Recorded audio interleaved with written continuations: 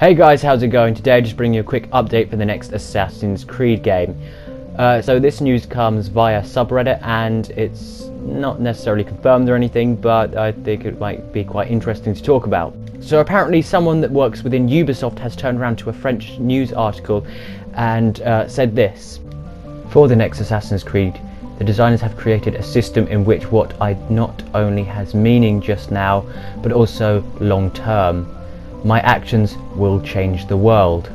So what this sounds like is Assassin's Creed is now going to become a multiple choice game uh, where you're allowed to create different choices and that will affect the way you play throughout the rest of the game creating different atmospheres, allying yourselves with people that you wouldn't necessarily think you would ally yourselves with. Maybe you'll play uh, through one gameplay as a certain, you'll play with a certain allied group, and then on the next gameplay you'll kill someone and then you find yourselves allying up with the enemies of that other group.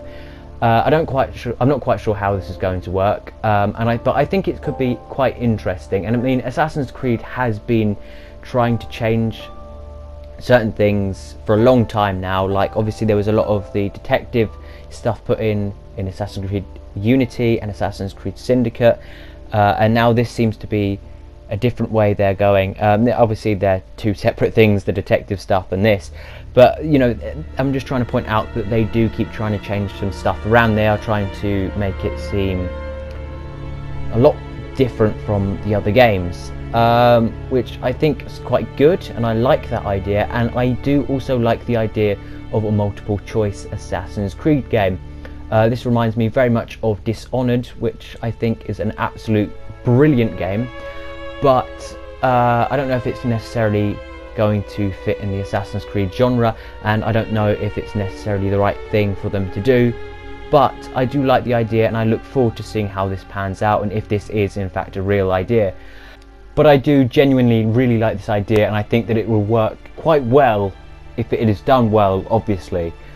Um, but this could be great because it's going to create different playthroughs, different play styles and you know people are going to get different versions of the game to some extent.